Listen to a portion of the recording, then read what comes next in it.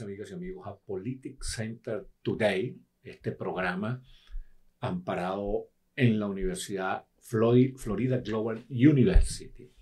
Todas nuestras redes sociales aparecen en pantalla y están a la orden de ustedes para conectarse con nosotros y poder nosotros tener la satisfacción de conocerlos a ustedes, sus opiniones y prestarles los servicios universitarios que puedan ser eh, necesarios y convenientes para ustedes. Hoy vamos a hablar sobre una materia muy interesante, que es la juventud.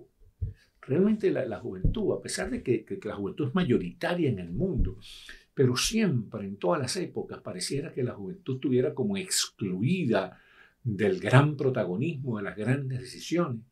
Y pasan los años y se desarrolla la ciencia y los jóvenes siguen en una actitud eh, como que si hubiera un déficit con respecto a ello, como si todavía siempre mantuviéramos una deuda con respecto a la juventud.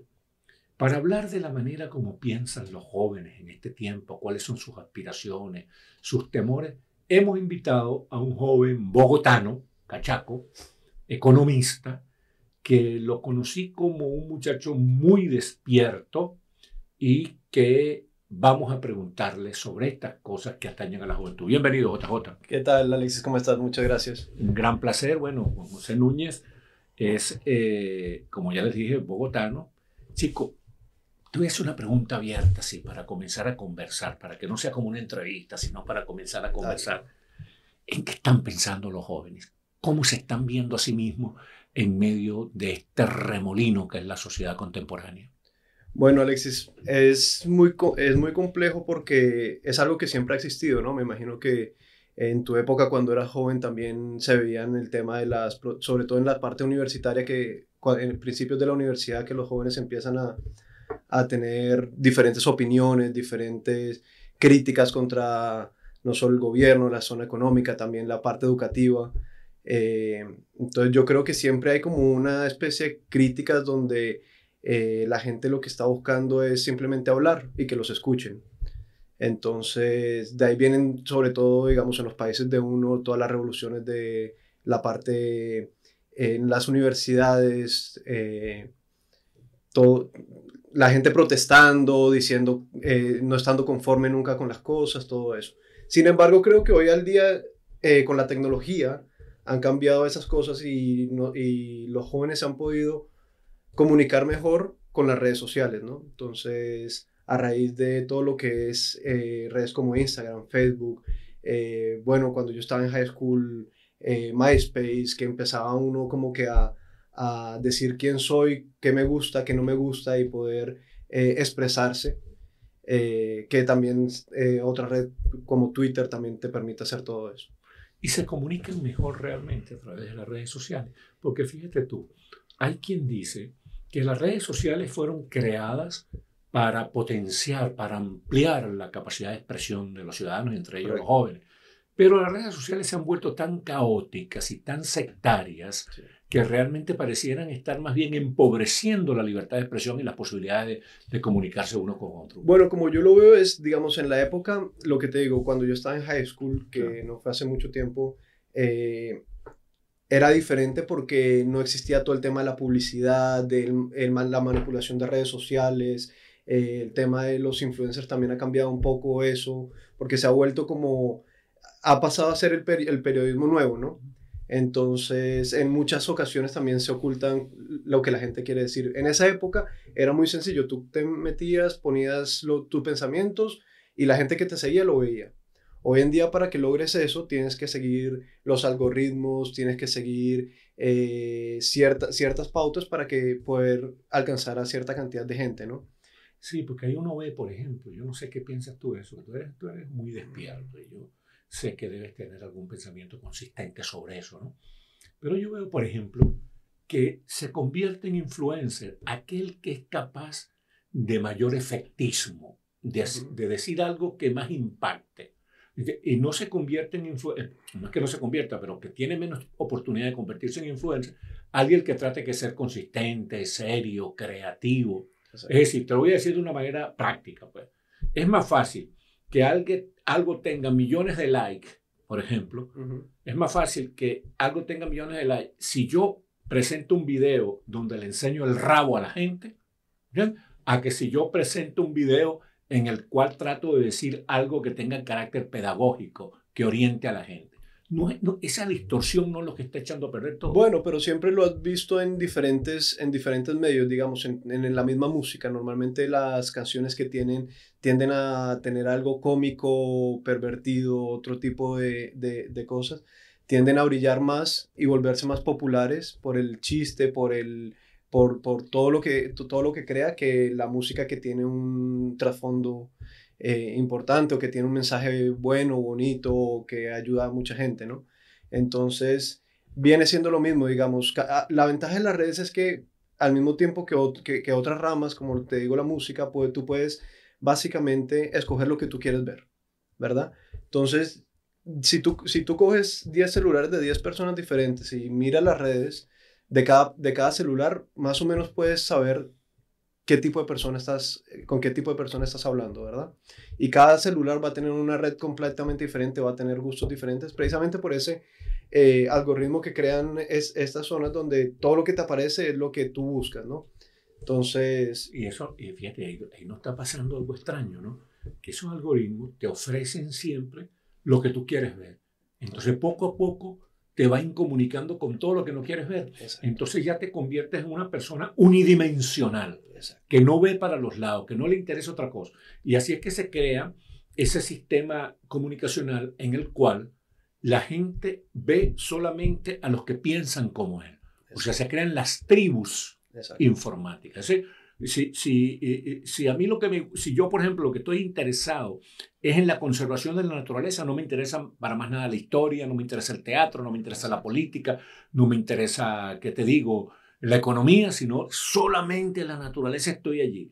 Y, en primer lugar, y en segundo lugar, solo veo aquella información sobre la naturaleza que a mí me resulta grata. La que me resulta ingrata la excluyo. Y así la gente prácticamente se está aislando, se están desconectando unos de otros. ¿No, es, así? Yo veo algo tanto positivo como negativo en el tema, ¿verdad? En la parte positiva, bueno, no es como antes que tú, ya hoy en día muy poca gente se levanta, coge un periódico y lo lee completo, ¿verdad? Más que todo tiene sus, sus, las páginas que siguen en redes y por ahí uno se... Segmenta. exactamente. Eh, pero entonces no te levantas con un negativismo. Entonces digamos que en, en la parte de, de, de, uno mismo te hace sentir bien. Pero también tiene la parte negativa de lo que tú dices. Siempre vas a estar viendo nada más lo que tú quieres ver no y, y, por, y por eso las opiniones dejan de cambiar, ¿no? Tú ya no, mucha gente ya hoy en día no es como antes que te gustaba, digamos, un equipo de fútbol y de repente decías, nada, ya no me gusta, me gusta la competencia eh, me gusta el Madrid, pero ahora me gusta el Barça porque me parece que están haciendo tal cosa. No, hoy en día, si a ti te gusta el Madrid, lo único que te va a parecer son cosas positivas del Madrid y negativas del Barça. Así es. Entonces, esa es la parte negativa, que no, no te está dejando explorar y aprender cosas nuevas. Sin embargo, te está llevando por una parte donde siempre vas a estar contento con tu pensamiento. Y hay una paradoja allí, ¿no? Que es que el mundo es global, todo influye sobre todo. Es decir, no hay nada que ocurra en Rusia o que ocurra en Sudáfrica o que ocurra, digamos, en Nueva Zelanda, que no influya sobre mi vida. Pero entonces yo me desentiendo de eso y solo me intereso por aquello que directamente, es decir, tribalmente, allí inmediatamente, yo creo que influye sobre mi vida. Entonces eso, eso realmente que crea esa paradoja, por una gran desconexión en medio de una globalización. Es, eh, es verdad, eh, o sea, básicamente lo que hace es crear un pequeño mundo en el que tú vas a vivir. Una burbuja. Una burbuja. Y no te deja ver más allá de ahí. Y sin embargo, lo que tú dices, se, supone que es una globalización lo que se está creando con todo el tema de la conectividad, de la expansión en redes, de la facilidad de hoy poder tener eh, el celular a la mano. Es una herramienta increíble a mí. Bueno, yo te conté que no tuve celular por tres días y literalmente me sentía que no servía para nada. y lo que te andábamos buscando tampoco nos sentimos que no servíamos para nada. Sí, sí, sí. Que no te localizaba. Tuvimos que localizarlo a través de un amigo común, Rafael Fernández, tremendo, tremendo tipo, también muy joven. Un día lo vamos a tener también en este programa, porque Rafael, Rafael Fernández también es un muchacho, Rafa, muy provechoso y que tiene mucho que decir. Fíjate tú cómo son las cosas, pero yo quiero que me comentes esto. Humberto Eco seguramente el italiano Umberto Eco eh, director de la Escuela de Comunicación de la Universidad de Bolonia en, Italia, es quizás el más importante teórico de la comunicación de los últimos 50 años. ¿verdad? Un hombre insospechable de ser enemigo del progreso, de estar contra las redes, porque es reaccionario, conservador, no, no, todo lo contrario, un hombre de vanguardia, además muy famoso porque entre otras cosas escribió, escribió esa novela tan, tan bestseller, tan vendida, que se llama El nombre de la rosa. Correcto. Exacto. Entonces, Humberto Eco en una oportunidad dijo que las redes sociales habían logrado que la opinión de un idiota valiera tanto como la de un premio Nobel. ¿Qué comentario te merece esa opinión de, Humberto Eco? Que tiene toda la razón. O sea, pero al mismo tiempo todo el mundo tiene derecho a tener su propia opinión, ¿no? Entonces, eh, una persona de pronto que sea ignorante o que no tenga la capacidad eh, educativa para poder pensar fuera de, de, un común no significa que no tiene derecho a dar su opinión. Entonces, lo importante es cómo la gente lo toma, ¿verdad? Porque hay veces que tú lo notas, o sea, hay veces que hay, eh, tú ves unos comentarios de unas, de unas personas que tú dices, ¿por qué está hablando así? ¿Por qué habla de esa forma? De pronto el, la vida lo ha llevado a que esa es su forma la que tiene que hablar y de pronto no es una persona que tú puedas decir que está bien educada o que, o que sabe expresarse, pero no significa que lo que está diciendo no tenga razón o que no valga la pena escucharlo. No, sí, en eso has dicho algo muy inteligente todo el mundo tiene derecho a expresarse, sea culto o no sea culto. Sí. Pero lo que sí es importante es que la gente sepa discernir qué opinión tiene sustentación y qué opinión es emocional, simplista, porque no puede ser que como tú y yo formamos parte de la misma tribu, entonces cualquier opinión tuya a mí me parezca válida y cualquier opinión mía a ti te parezca válida se, pierde la capacidad crítica. Y precisamente lo que, lo que desarrolla la inteligencia y lo que nos humaniza es la capacidad crítica, ¿no te parece? Claro que sí. Es más, en realidad a mí, en la parte de, de miedos hacia todo este tema de la comunicación, me parece más importante la parte de eh, la acumulación de data. Y, y, eso lo estamos viviendo hoy en día. Yo creo que el primer ejemplo grande que se da es en, Brexit, en el Brexit en Inglaterra, sí que la forma como ellos ganan las elecciones es básicamente, por primera vez contratan una, en, en unas elecciones una compañía que lo que hace es acumular data. Entonces en esa época era la época del Mundial de Fútbol, y entonces ellos eh, tenían un premio a la eh, de, un dinero muy grande, no me acuerdo la suma, a la persona que, que, que pudiera adivinar todos los resultados del Mundial. Todos, tenías que adivinarlos todos. Entonces, pues era gratis meterse pero al mismo tiempo te hacía muchas preguntas personales, incluyendo preguntas políticas. A raíz de eso, ellos crean ese algoritmo para poder decir, ok, esto es lo que la gente está pensando, vamos a cambiar tal cosa, la gente se está enfocando más, no sé, en leyes migratorias, se está enfocando más en tales leyes, y de ahí ellos empiezan a tomar el poder de, sobre las elecciones, literalmente, y empiezan a mostrar en publicidades lo que la gente quería. Y a raíz de esas elecciones que dieron eh, resultados positivos a los que aplicaron eso, se ha visto que desde ese entonces en todas las elecciones de casi todos los países las redes sociales se han vuelto indispensables. Antes de eso no se, no se creaba ese, eh, no, se, no había esa necesidad porque era la típica campaña política antigua que nada más era la gente, cada persona hablando, diciendo sus propuestas y todo eso. Sí, lo que pasa es que fíjate tú, esa data que tenían allí para favorecer el Brexit, la, salida de Inglaterra de la, de la Comunidad Europea, de la Unión Europea, esa data también la tenían los rusos. Entonces esa misma data la utilizaron los rusos para promover la salida de Inglaterra de la Comunidad Europea, de la Unión Europea, precisamente porque eso debilitaba a la Unión Europea, que eran sus competidores. Entonces los laboratorios de guerra sucia de Rusia, controlados por el dictador Putin, eh, eh, así como actuaron en Inglaterra para favorecer el Brexit, porque eso disminuía, eh, como te digo, debilitaba a, la Unión Europea, actuaron en Cataluña para promover el separatismo español, actuaron en, en, en, las elecciones norteamericanas para promover unos candidatos que les favorecieran más la política imperialista rusa. Entonces, e, es una cuestión, chico, que se ha vuelto muy compleja. Ese asunto de los algoritmos. Por ejemplo, tú pusiste un ejemplo que a mí me interesa mucho destacar. Yo soy un seguidor del Real Madrid. Entonces yo pongo, abro YouTube, por decir, y ya me aparece el Real Madrid como que si fuera lo único que a mí me interesara. Claro, me interesa el Real Madrid. Pero entonces tengo que ponerme a buscar otras cosas, porque aparte del Real Madrid me interesa el béisbol, me interesa la filosofía, me interesa la literatura, entonces, pero ya el algoritmo decidió qué es lo que, yo, lo que a mí me gusta. Entonces, si, si, ellos ponen, por ejemplo, eh, que si yo busco más de una vez, digamos, un programa sobre la naturaleza, entonces me aparece como que si a mí lo único que me interesara fuera eso. Entonces realmente hay como una dictadura del algoritmo sobre tus gustos. Claro. comienza, comienza el algoritmo a, convertirte en un robot controlado por ellos. Entonces esas son cuestiones sobre las cuales tenemos que reflexionar y discutir, ¿no te Claro, precisamente Apple nos, eh, nos eh, hace muy poquito sacó, cambió un poco las normas en el, en el iPhone, donde las aplicaciones ya no tienen acceso a tanta información como la que tenían antes. Entonces, eh, precisamente esa aplicación lo que está haciendo, lo, es, esa función lo que está haciendo es creando que cada persona pueda tener un algoritmo muy diferente y, y, tenga más, más libertad en lo que quiere escoger. Ah, yo no sabía eso, Cuéntame más de eso. Entonces, básicamente cómo funciona es eh, cuando tú bajas una aplicación en el, en, la, en, en, el iPhone, ahora te pregunta que si tú quieres dar tu información a esa, a esa aplicación. Ah.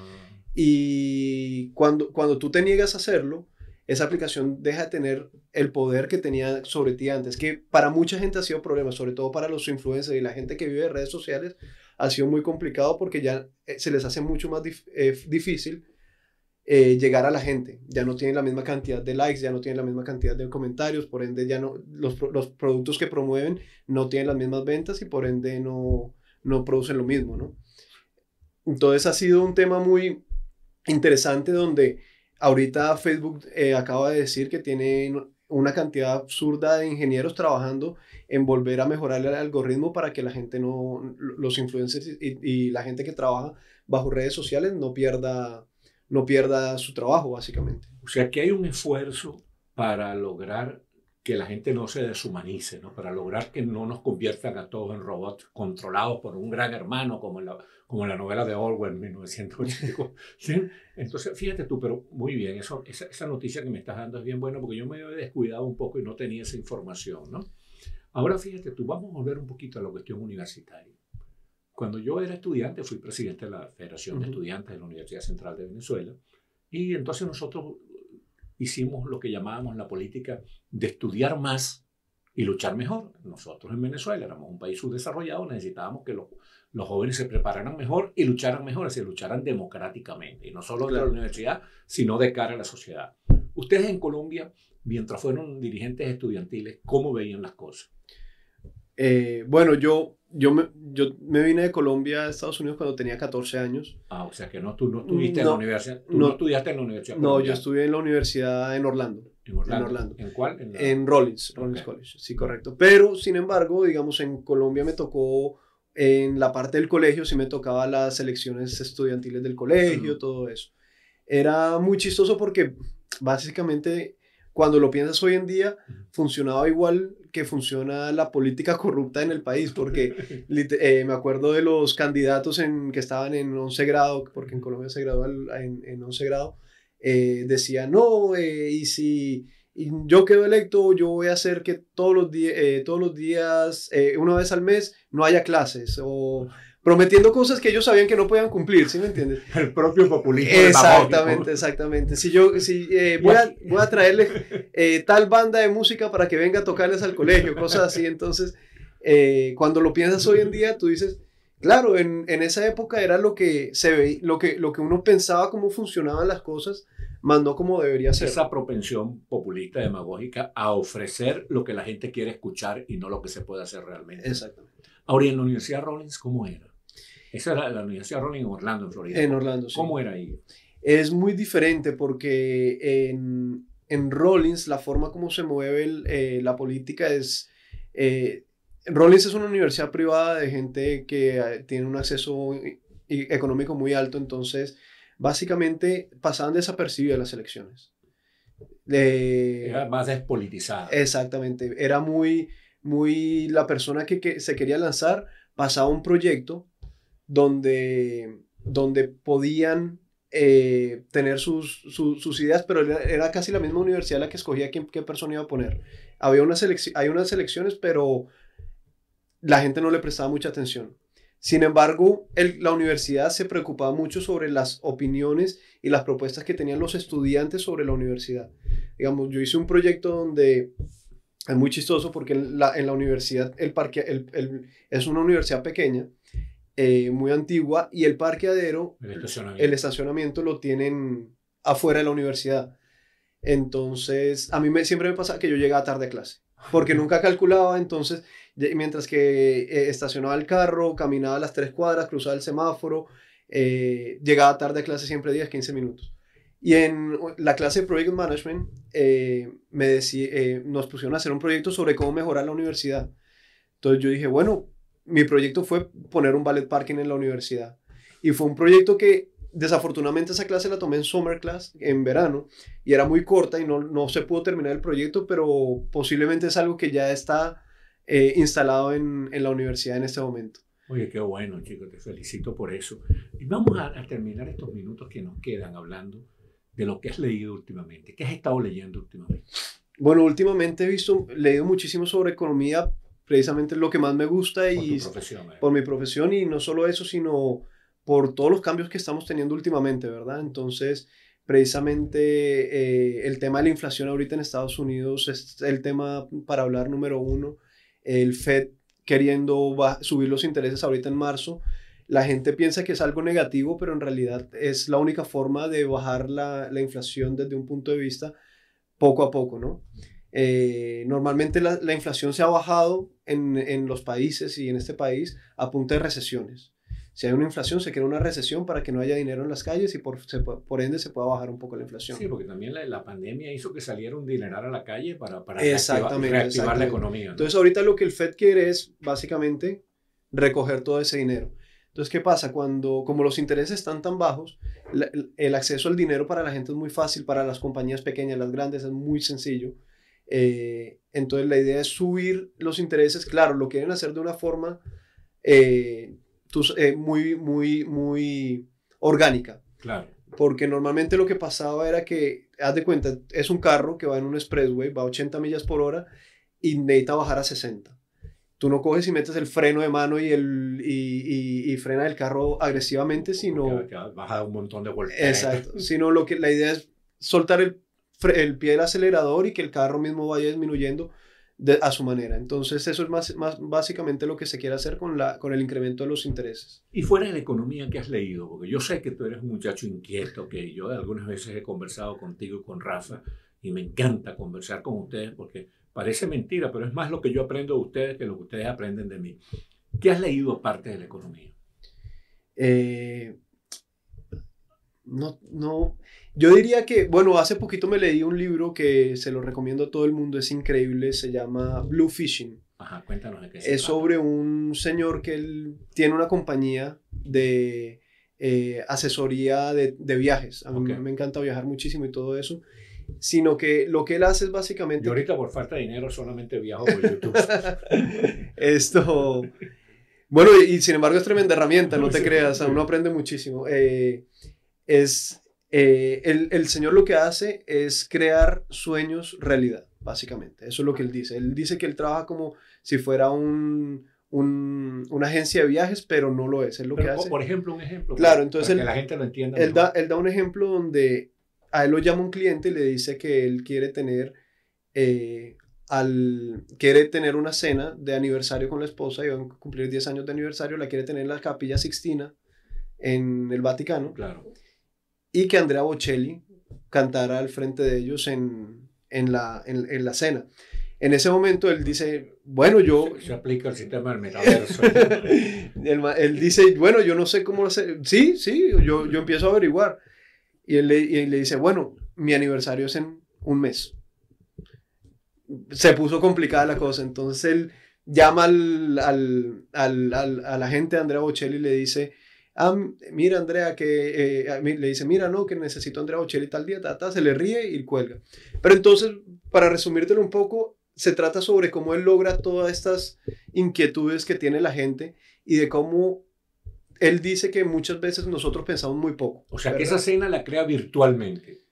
No, él, él, él, él en, eh, con contactos que tiene logra crear la cena Y no, es en la capilla Sixtina. las personas van a la capilla Sixtina en verdad, les cierran la capilla Sixtina y Andrea Bocelli les canta al frente. Bueno, eso tiene que ser un multimillonario para lograr. Claro, pero la parte importante del libro que, que, dice es que cuando nosotros, eh, porque normalmente la gente que le pide a él las cosas, le pide por debajo, ¿no? un, digamos el ejemplo de un periodista que quería cantar, eh, que quería conocer a, a los Rolling Stones. Sí, señor. Bueno, mira, estaba tan grata la conversación que nos atropelló el tiempo. Se nos pasó el tiempo. Muchísimas gracias. Alexis, muchas gracias. JJ Núñez, muchísimas gracias a ustedes, queridas y amigos y amigos, por haber tenido la amabilidad de vernos aquí en Politics Center Academy Today.